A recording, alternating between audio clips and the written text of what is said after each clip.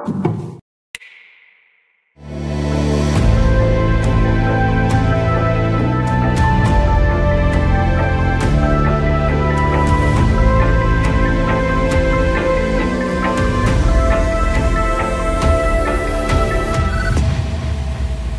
I will try to do today is to talk about this war again from the historical perspective, about use and misuse of history in the justification of this war, about the, the origins of the war and also the impact, the consequences that we can foresee.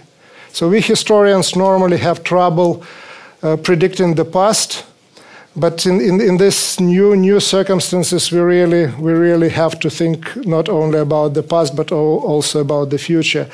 And uh, once you use those lenses, you can actually see things that, that otherwise probably if, if you are just focused on today if you are focused immediately on tomorrow the day after tomorrow that probably you can't you can't see so i will start with the with the misuses of history and abuses of history Vladimir Putin and his uh, essay uh, on the historical unity of Russians and Ukrainians have been uh, already mentioned here. His um, speech on February 21st 2022, a few days before the all out invasion, was called by some observers to be a history lecture. So, really, in my, in my works as a historian, I don't remember any other war where there would be so much history at the beginning, so much history at the start, and so bad history. Because the argument, the key argument that is there in, in, the essay, in the numerous pronouncements, in the long speeches, is that Russians and Ukrainians are one and the same people. So, what is there really is not that Russians are really Ukrainians. What is there is that Ukrainians are really Russians and they don't exist or they don't have the right to exist. This is, uh, for me, immediately as, as I listened to the, to, the, to the speech on the February 21st, 2022, I, I came to realization that the war that is coming is not just the war, the regional war, the, so, something that was happening before that in eastern, in eastern Ukraine. That the, the attempt is really to put an end to the existence of the entire Ukrainian state and nation, at least as and independent entities. And another thing that I, I um, realized, and that, that already came with, with my work as a historian on the 19th century and 18th century, was that there was nothing particularly original in that thought because for those of you who have a chance to see to see the image but this is this is the poster that comes from 19th century Russia. It depicts three sisters, uh, Great Russia, Little Russia, or Ukraine, and White Russia. And that's the image, that's the symbol of the Russian nation, the way how it was imagined by the political thinkers, by, by the rulers, by, by the military commanders at the end of the 19th century and the beginning of the 20th century, including by people like uh, Anton Denikin, the uh, general of the Russian White Army during the revolution, whose, whose diary uh, in particular was, was, was read by Putin, but also by many other Russian uh, post revolutionary emigres. So, what we see today is really going back on the part of, of Putin, but also Russian propaganda machine, going back to the ideas and models of the 19th century, imperial models, and an attempt to bring them back and introduce into the in, into 21st century, rejecting what was happening uh, in that part of the world, even during the Stalinist time and the Stalinist period, because Lenin and Stalin are under attack for being too, too lenient toward nationalities and Ukrainians in particular, and recognizing them as a separate nation, at least pro forma. So we see an attempt really to turn the clock back to the 19th century, not only in terms of the legitimization of certain actions, but also in terms of the actions themselves. Because if you look at what is happening to the Ukrainian books, history books in the, uh, in the occupied territories in Ukraine, it's not yet the, the, the, the stakes, they're not burning, but certainly the, those books are being thrown in the, uh, uh, through the windows and, and destroyed and removed from the, from the uh, circulation altogether. The irony uh, of the mm, recent uh, 30, 40 years history is that the Soviet Union was dissolved by the leaders of the very same groups that you saw at the previous image, uh, the, by the leaders of Russia, Ukraine, and Belarus. So the, the, the core, the, the Slavic core of the, of the uh, Soviet Union made this decision about dissolving, dissolving the, the USSR. And the role of one of this, of one of this uh, people on the, on the uh, picture is especially important. And this is, this is the role of the person on the left, Leonid Kravchuk, the first president of uh, Ukraine uh, in 1991. Why it is important, not because Kravchuk himself, but because the country that he represented at that time. He is, um, the picture was taken one week after the Ukrainian referendum for independence, where 92% plus minus 92% of those who participated in the referendum voted for independence. The question that Ukrainians asked, answered in that referendum was not whether you want the Soviet Union to continue or not. The question was whether you want Ukraine to become independent, whether you support the decision of the parliament of uh, Verkhovna Rada of Ukraine to, to, for independence. But one week after that, the Soviet Union was dissolved. The question is why? And the answer is that without Ukraine, which was the second largest Soviet republic and then post Soviet republic, neither Gorbachev nor Yeltsin were actually prepared to go on and continue with the Soviet, with the Soviet project. Yeltsin kept saying again and again uh, to uh, President George H.W. Bush at that time without Ukraine, we would be outnumbered and outvoted by non Slavic Muslim republics. So there was cultural component, but there was religious component and, and, and, and others as well. So Ukraine became really central back then in 1991 for the question of whether the Soviet Union would survive or not, whether it would continue or not. And Ukraine continued to be central for the question of whether Russia would be able to reinstate its control on the post Soviet space. And in that sense, looking at this picture, looking at this image, understanding what is behind it also provides some perspective on why we have this horrible war between Russia and Ukraine. And the question is, uh, the, the, answer rather is that the, the, because, because without keeping Ukraine under the Russian control, any attempts to re establish Russia's dominance in the post Soviet space are really would be incomplete. There is a lot of discussion about why we got this war and got it now, and I mean the all out attack. One thing that is important to answer this question is to get chronology straight. And chronology straight means that, yes, the war started in February, but the war didn't start in February of 2022.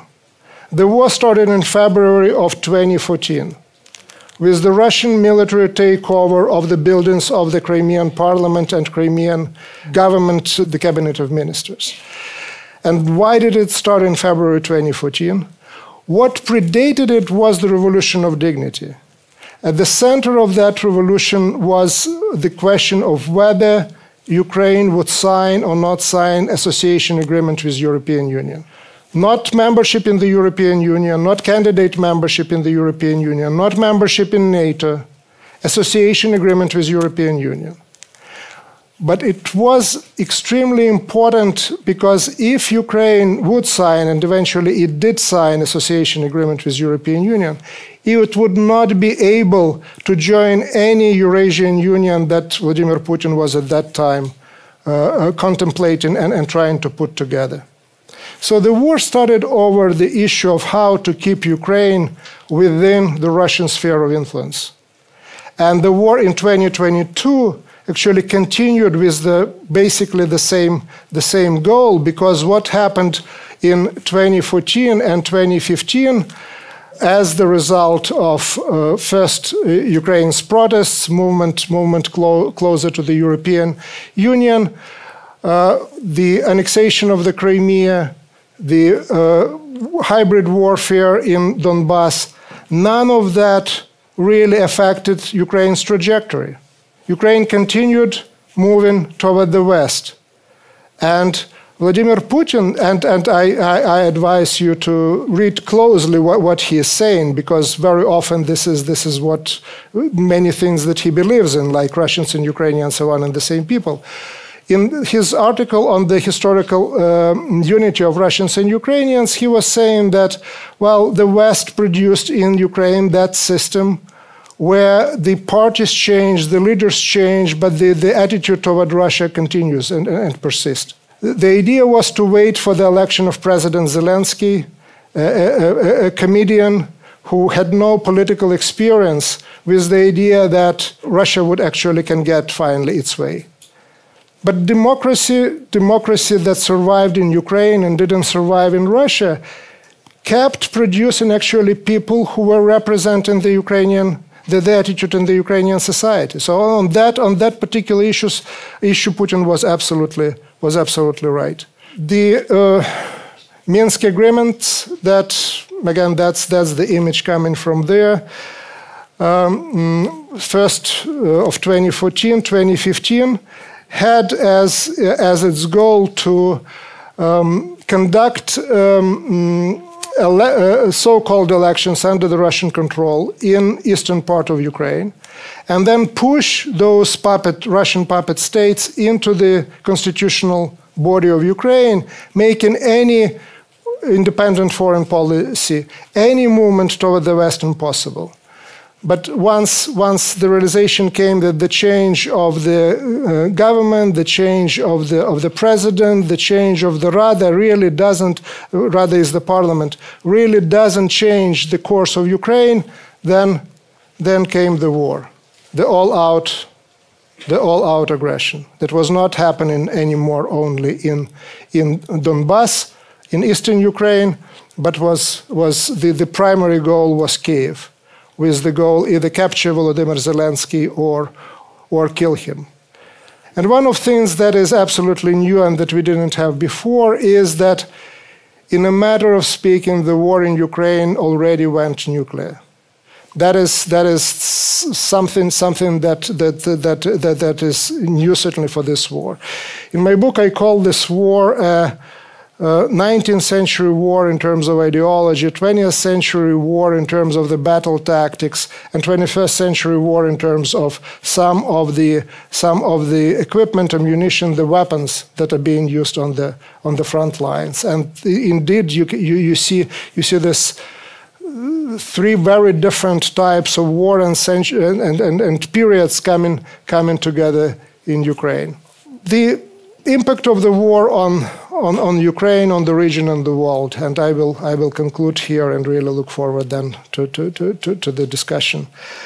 This is a photo of the monument to the um, Russian Ukrainian friendship that was in downtown Kiev that survived the war of 2014 2015, the annexation of the Crimea the war in Donbass, but didn't survive the Russian missile attacks on Kiev in February and March of 2022. So it didn't, it wasn't hit by Russian missile attack, but the Ukrainians removed removed this monument. And this is this is very symbolic.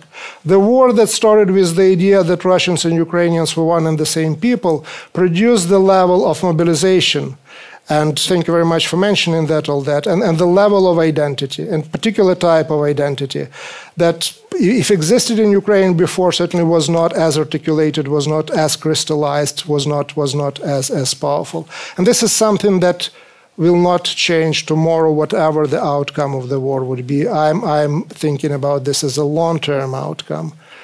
Well, that's that's the image that probably um, needs no needs no uh, much, much of commentary in terms of the historical context when it was taken. But we are really going back in many ways to the Cold War era in terms of Europe and what is happening in Europe. The gray zones that existed in Europe after the fall of the Berlin Wall actually are disappearing today. There is no question that Ukraine is on actually accelerating its movement toward toward the West. There is no question that Russia is turning, turning uh, it, its back on Europe and reorients itself both economically, politically, militarily, and otherwise toward, toward the, uh, east. That's that's about that's about another Cold War image and another Cold War parallel. Um, the war started a few days after signing an agreement on no limited cooperation between between China and Russia. And uh, while it became quite clear that there were limits to non limited cooperation, we really don't know where those limits are or where they will be in the next uh, months, next year, or next two years. But there are things that are already very clear. That compared to what was happening in the Cold War era, the role in that alliance or alliance to be had changed and shifted if China in the 1950s was the country that was behaving, uh, behaving erratically and challenged in, in the most clear way, in the most dangerous way, the international order that existed at that time, and the Soviet Union was more conservative part of the, of the alliance, it was also the senior member of the alliance. Now we have situation shifted the other way around. China is actually uh, more concerned about the preservation of some of some form of, of the existing international order with, with different poles, of course, but, but clearly, clearly not, not challenging that in the way irresponsible way, especially when it comes to things nuclear, as Russia does today.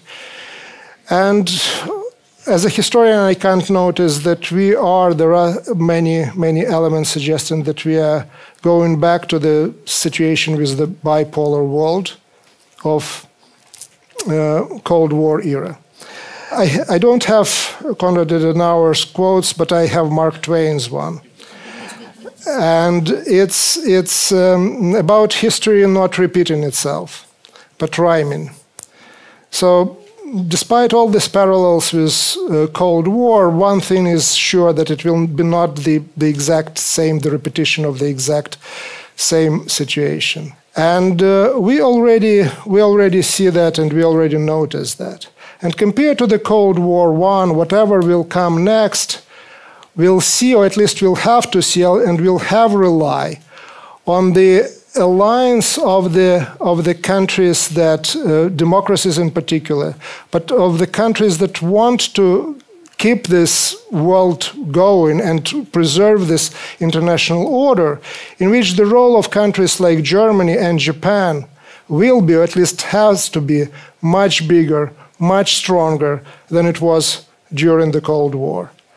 Uh, I see signs of that already already happening. So it will be different world. Hopefully, we can learn from the mistakes, we can learn from the um, victories of, of, of that period, but there will be new challenges, and we all have to be prepared for them no matter when and how this war will end.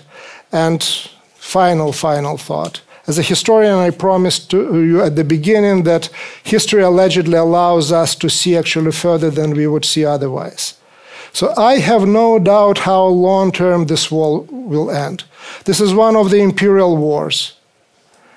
We know what happens to the empires. We know that the states that come out of their ruins emerge, emerge victorious.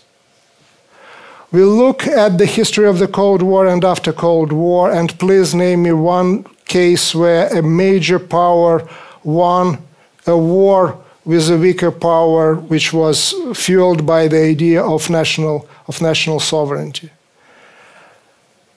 The question is while I know how this war will end, I don't know when it will end.